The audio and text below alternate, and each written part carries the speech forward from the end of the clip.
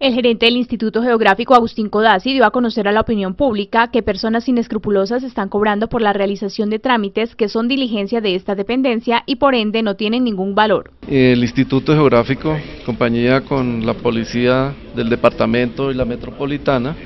eh, queremos invitar a toda la ciudadanía del departamento de Boyacá para que no caigan en las redes de los tramitadores personas inescrupulosas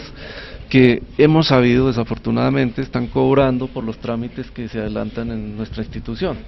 Eh, trámites que tienen que ver con desenglobes,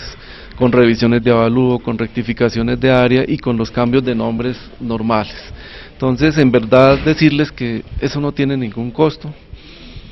eh, ofrecerles disculpas si les ha sucedido. Esta importante campaña se está realizando en compañía de la Policía del Departamento para desarticular este grupo de personas que exigen dinero por determinados trámites que son gratuitos. Es un trabajo en equipo que se ha venido dejando y que ya se cristaliza a partir de hoy.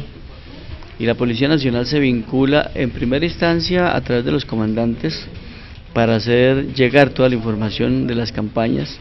Lo vamos a hacer con las emisoras comunitarias, a través de las alcaldías y por supuesto en las plazas de mercado, a donde llegan los campesinos que son los que en primera instancia son presa fácil de los tramitadores y que llegan a comprar sus productos del día de mercado o a venderlos y ahí vamos a socializar la información con volantes, con documentos, con charlas y por supuesto a través de las dos emisoras de la Policía Nacional donde divulgaremos toda la información para evitar que los campesinos sean